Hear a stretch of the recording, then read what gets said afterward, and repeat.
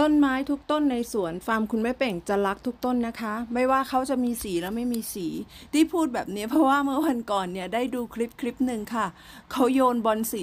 ทิ้งเขาบอกว่าอันนี้ไม่ด่างไม่สวย แต่ก็สวยนะ แค่เป็นสีแดงอย่างเดียวไม่ด่างเขาโยนทิ้งหมดเลยเราก็เสียดายโอ้อยากได้จังเลยสำหรับคุณฟาร์มคุณแม่เป่งแล้วนะคะ ถึงจะเขียวแบบเนี้ยเขาโตขึ้นก็จะขยายเป็นเปลี่ยนกระถางค่ะ แล้วก็ ขยายไปเรื่อยๆ จะไม่ทิ้งค่ะ อาจจะไปปลูกตามแนวคันแดนหรือว่าตามแนวสวนก็ได้เลยนะค่ะ เราจะปลูก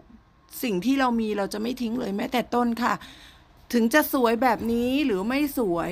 ฟาร์มคุณแม่เป่งก็จะปลูกไปเรื่อยๆค่ะ แล้วเพื่อนๆล่ะคะ ทิ้งกันบ้างไหมบอนสีฟาร์มคุณแม่เป่งไม่ทิ้งเลยนะคะฟาร์มคุณแม่เป่งนะคะ ตอนนี้ขยายพันธุ์ไว้เกือบเยอะมากๆเลย เพื่อที่จะเอาไว้แบ่งปัน แล้วก็เอาไว้ให้เพื่อนๆชมในตอนที่ ร้านกาแฟของเราเปิดวันที่ 1พฤศจิกานนะคะ ถ้าเกิดใครว่างก็เข้ามาชมกันนะคะ หลังวันที่ 1พฤศจิกาถ้าเรามีบอลสีเยอะๆ เราก็จะมาแบ่งปันกันที่นี่นะคะ